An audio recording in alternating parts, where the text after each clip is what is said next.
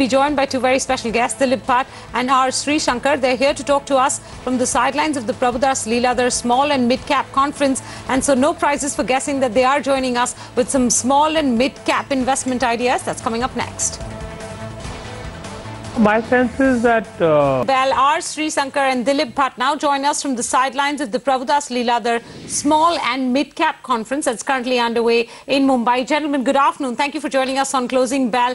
If I can start with you first, Dilip, uh, can you sort of uh, describe to us the kind of appetite, continuing appetite for small and mid cap stocks, given the, the run up that we've already seen in those spaces in the past recent months?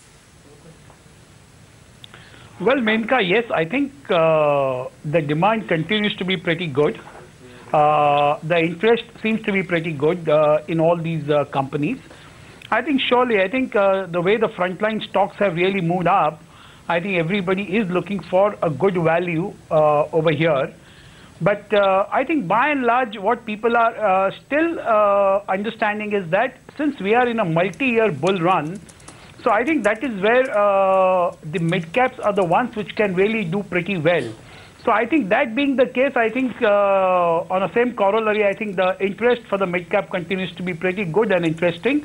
And I think we have identified quite a few of them over here where I think on a long-term basis they can give reasonably very good returns. Dilip, what- have you identified? How have you identified them? Given the fact that uh, uh, when people talk about the Indian investable universe, they say perhaps it's just about 20% of the entire, or 30% of the entire market, if you're being charitable, is really investable. So, how are you? What on what basis are you picking these stocks? Uh, because these, these are high risk, but of course could give you great returns.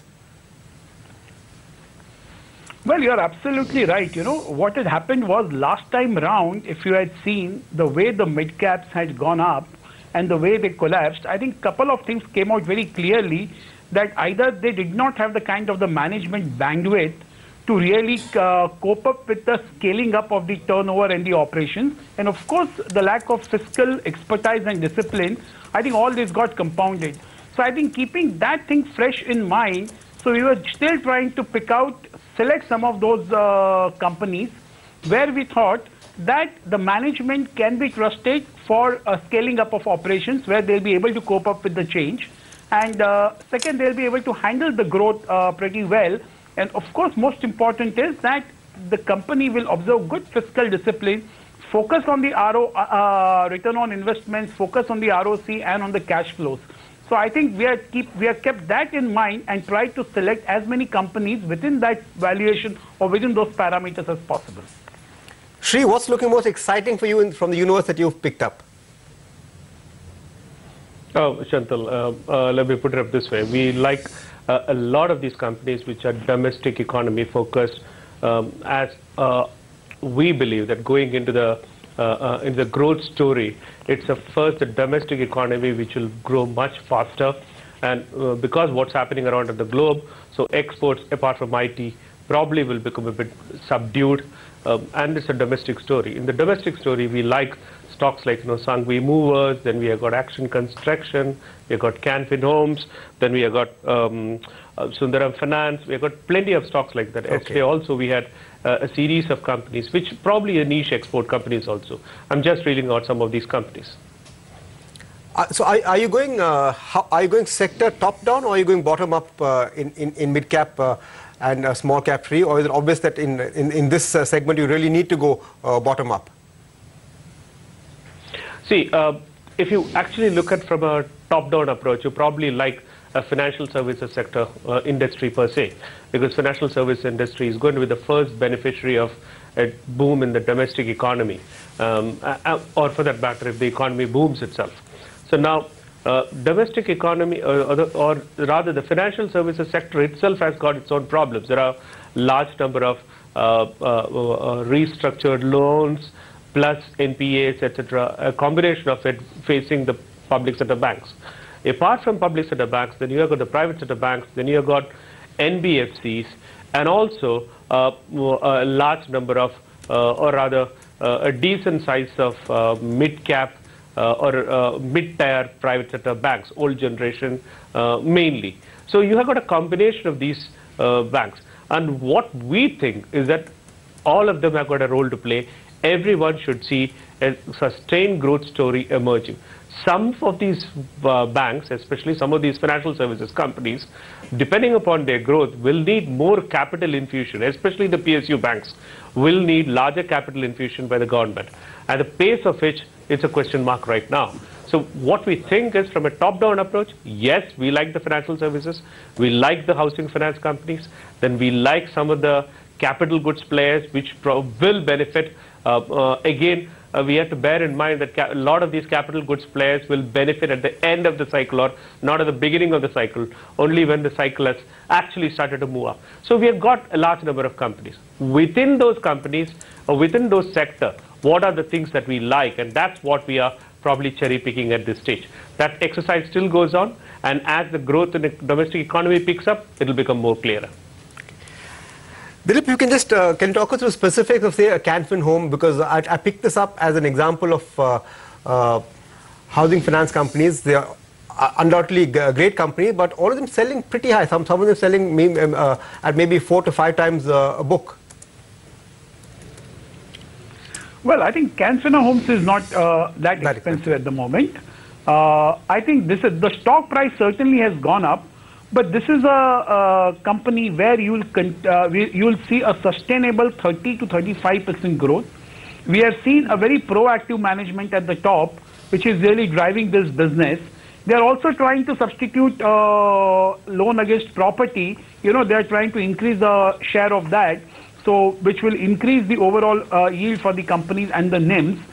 I think uh, they will still, what we think is they will show a 30-35% sustainable growth at the bottom line with an asset quality which is definitely stable and of course an ROE is around 15-16% which for a growing company is quite okay.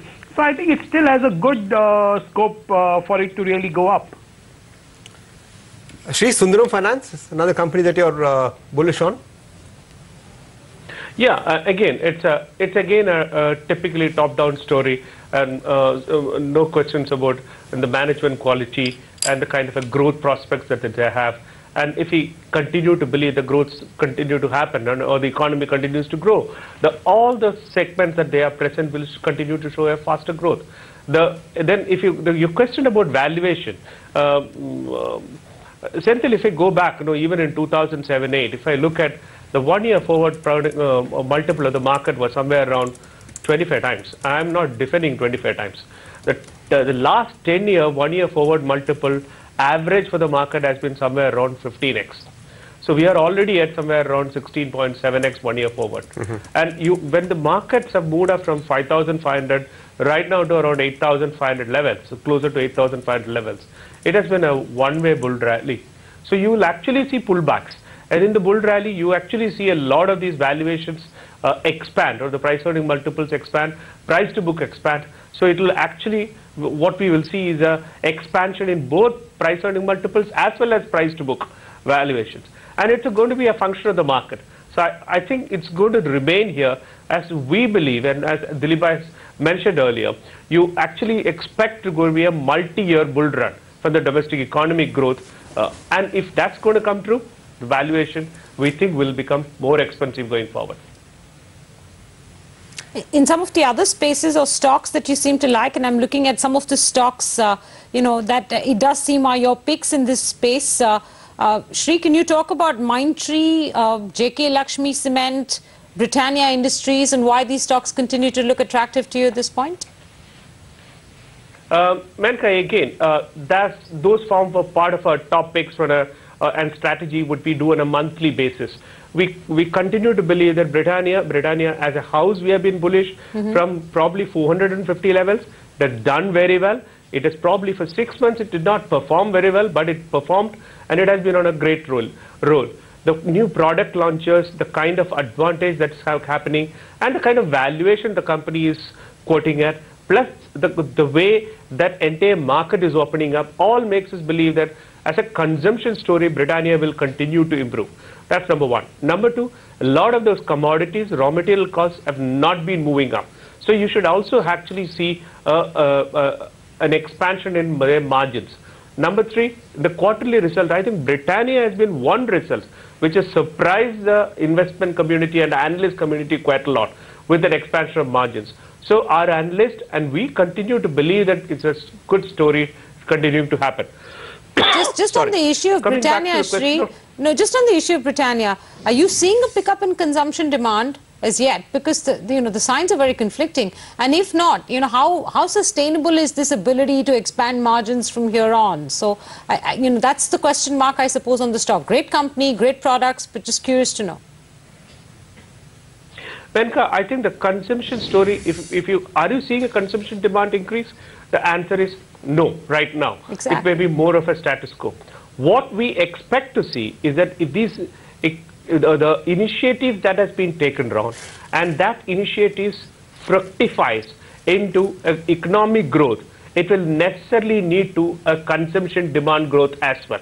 And that's the premise at which we have approached, and that's where we continue to remain bullish. And to question about the questions about JK Lakshmi, Mindtree, etc. Again, JK Lakshmi, if you look at the cement uh, sector itself, you know, the valuation that you pay probably for a new greenfield project is around $120, 110 to 120 dollars per uh, EV per ton. So if you look at the valuations across, starting from Gujarat Ambuja to uh, mm, uh, to Ultratech, uh, to many of these companies, uh, the valuations have become stretched. This stock is still below 100. So still we believe there is a lot more scope to go. And on top of it, they have actually gone to a market where you should actually also see the highest margins as well. So all these makes us believe that there is a story, still there is a value to be recovered from that particular stock. Again, Mindtree, the stock has probably become a four-bagger from the way we have, when we have started recommending it. My, our analyst still believes that it's a good story because they are focusing on it. The growth is getting delivered, but these stocks probably do not have not moved up uh, at one go to that 100%, 200%, but it has been a, a, steady move over a period of time. So all these forms of uh, part of our top picks and strategy, and we continue to believe that these are the stories that we like. Uh, a combination of um, uh, um, uh, uh, mid, mid caps, and some of them are large caps uh, in the financial services like State Bank of India, ICICI Bank, HDFC Bank, etc. I think Federal Bank is also on your list, Sri. Yes, that's a mid cap, one of the mid cap banks which we continue to like.